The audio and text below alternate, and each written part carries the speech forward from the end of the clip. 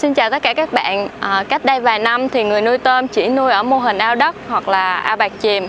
Còn ngày nay thì họ hướng tới sự cải tiến mới mẻ đó là ao tròn nổi. Vậy à, ao tròn nổi nó có lợi ích gì? Nên hay là không nên sử dụng? Tại sao? Thì à, ngay bây giờ chúng ta sẽ cùng tìm hiểu nhé.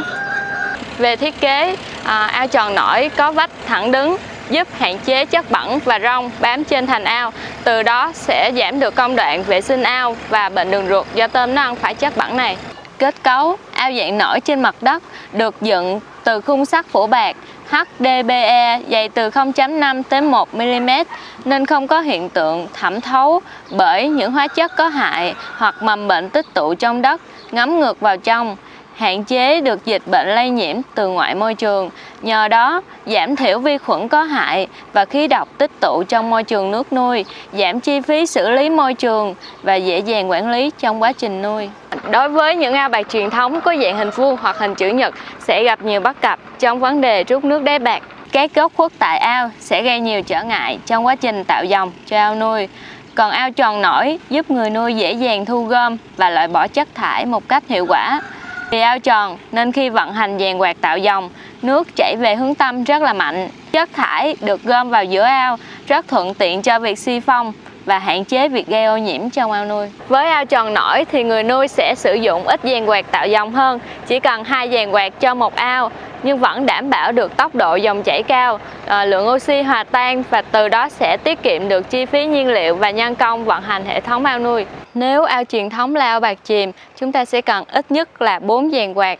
Mặt khác thì loại ao này thì có nhiều góc chết. Tại đây thì sẽ bị thiếu oxy, mà đặc tính của con tôm thì lại hay tìm ờ, thức ăn ở những nơi có nhiều oxy nhất. Và dĩ nhiên thì tại ờ, những góc chết đó thì tôm sẽ không tìm đến ăn và gây ra hiện tượng là tôm bị thiếu ăn và sẽ yếu. Để khắc phục vấn đề này, người nuôi tôm thường đặt thêm sụt lũi để tăng cường oxy cho tôm. Nhưng với ao tròn thì chỉ cần hai dàn quạt, tương đương bằng 4 dàn quạt của ao bạc chìm, mà vẫn đảm bảo được dòng chảy. Dòng chảy càng mạnh thì thời gian si phong càng rút ngắn, lượng oxy hòa tan trong ao sẽ rất là nhanh, giúp tôm phát triển khỏe hơn vì tôm thích bơi ngược dòng. Ờ, nếu sử dụng ao tròn nổi thì khi si phong sẽ hạn chế vấn đề chết tôm nhờ vào hệ thống cao chiều. Ừ, lấy ví dụ đi ha, một uh, ký tôm nó sẽ khoảng 100.000 đồng mà một ngày mình si phong ra khoảng 30 kg tôm đi ha thì nó sẽ thất thoát khoảng 3 triệu đồng trên một ngày. Vấn đề đặt ra là nếu chúng ta không bán được lượng tôm si phong đó thì một ngày chúng ta sẽ mất khoảng 3 triệu đồng.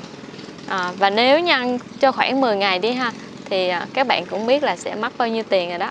Còn với ao truyền thống thì khi si phong người nuôi tôm sẽ dùng bầu quạt để hút. Khi con tôm bị hút vào thì sẽ bị cánh quạt ly tâm của bầu quạt nghiền nát ra vì thế thì tôm bán ra sẽ không được giá chỉ bán được khoảng à, 50% thôi à, thậm chí có lúc còn không bán được bao nhiêu phần này chúng ta sẽ bị thất thoát rất là nhiều nếu như một ngày chúng ta tiết kiệm được khoảng 3 triệu đồng à, mà trong khoảng 10 ngày chúng ta si phong ra tôm không bị chết thì chúng ta sẽ bù lại được tất cả các chi phí luôn ha. Tiết kiệm điện nè nhân công nè hoặc chúng ta có thể lấy tiền đó để đầu tư sang một ao khác.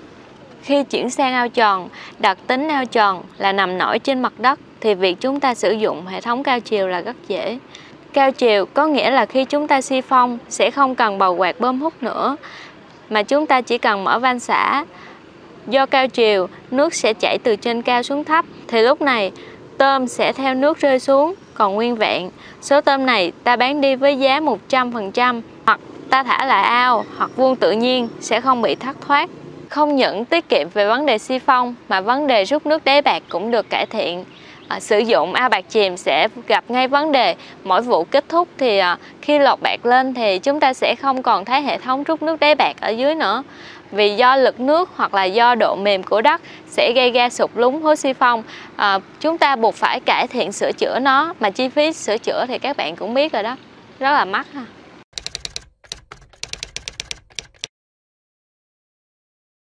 Ước tính khoảng 100 mét khối thì sẽ cho sản lượng là 1 tấn tôm.